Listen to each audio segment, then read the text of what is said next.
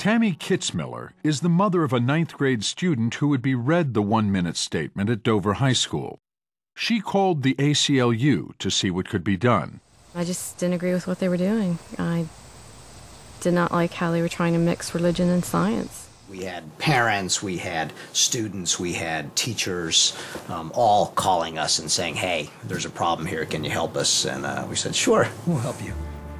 On December 14, 2004, 11 parents of Dover school students, including Tammy Kitzmiller and Brian and Christy Rehm, filed a lawsuit in federal court in Pennsylvania, alleging the Dover School Board was violating their constitutional rights by introducing religion into science class.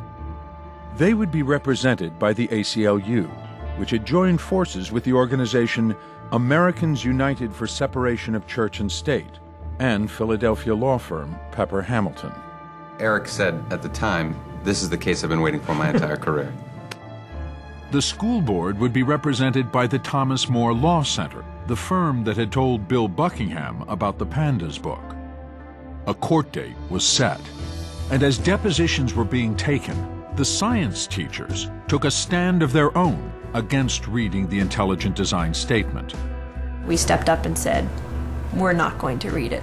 We met together and agreed that as a unit, we would stand together. I mean, I have principles and standards of my own, and there was no way that I was going to go into a science classroom of mine and make a statement about this so-called intelligent design, knowing full well that it was not science. They notified the board of their refusal in a memo that proclaimed, Intelligent design is not science. Intelligent design is not biology. Intelligent design is not an accepted scientific theory.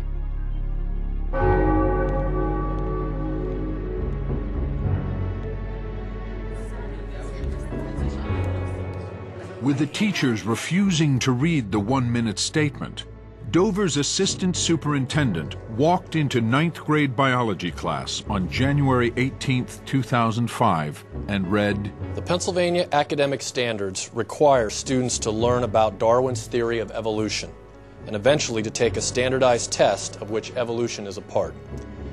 Because Darwin's theory is a theory, it continues to be tested as new evidence is discovered. The theory is not a fact. Gaps in the theory exist for which there is no evidence. A theory is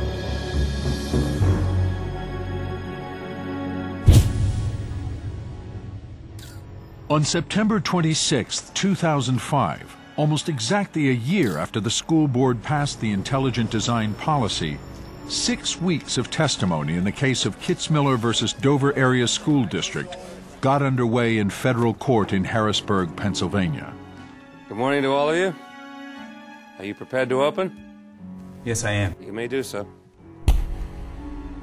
My co-counsel and I represent 11 parents who are challenging the Dover Area District School Board's change to its biology curriculum. Dover School Board members announced their interest in the topic of evolution in starkly religious terms. They looked for a book that could provide a religious alternative to evolution. And they found one here in Of Pandas and People. They did everything you would do if you wanted to incorporate a religious topic in a science class and cared nothing about its scientific validity. Patrick Gillen, Your Honor, on behalf of the defendants in this action, the Dover Area School District and its Board of Directors. The board believed that intelligent design was not creationism. They knew what that was, the book of Genesis. They believed it was a legitimate educational goal to make the students aware of the existence of another scientific theory.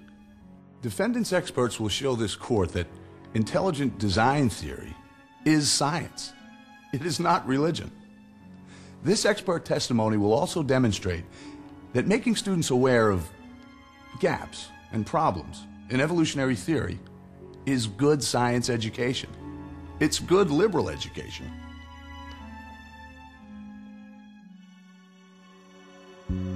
By the time the trial started, challenges to the teaching of evolution had cropped up in dozens of other states, and intelligent design was attracting some heavy hitters.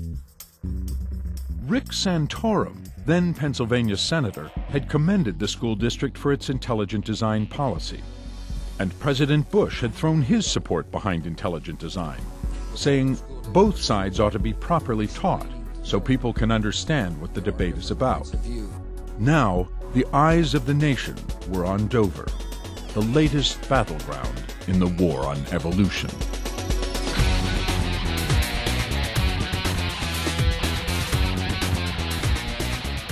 Now, I don't want to sound melodramatic, but I actually think very important things were at stake. One is uh, the future of science education in this country.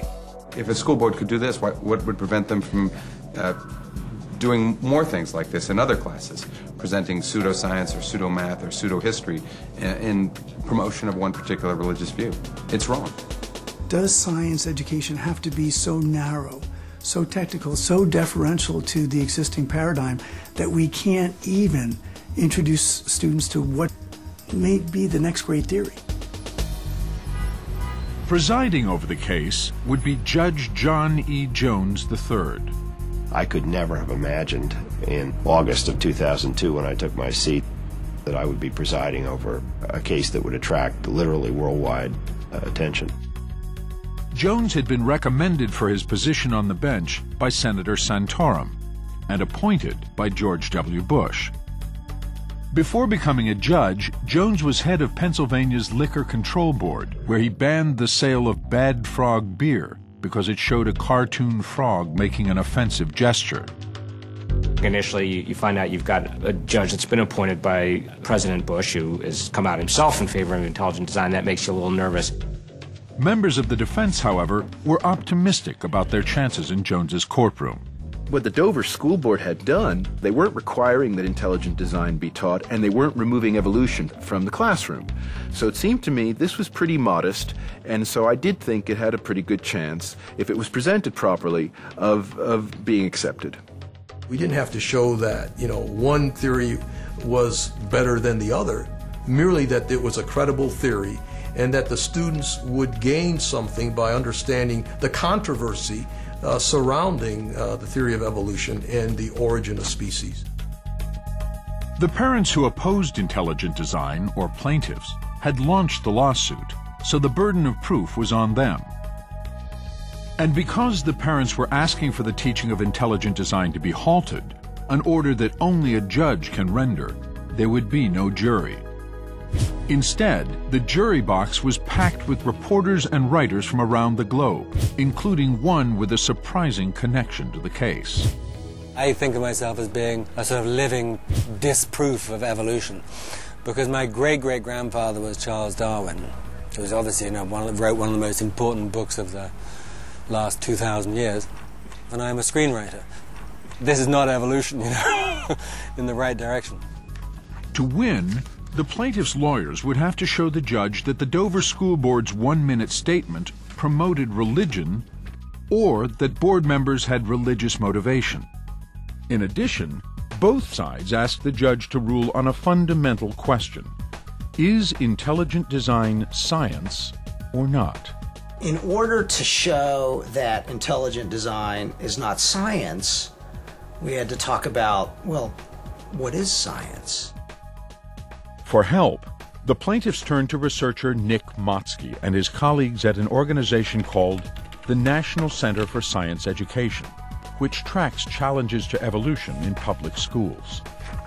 The last time any lawyer took biology was probably in ninth grade, and I spent months and months on email at meetings um, explaining science, explaining evolution to the lawyers. To make their case before a judge who had no particular scientific training, the lawyers for the parents assembled a team of expert witnesses.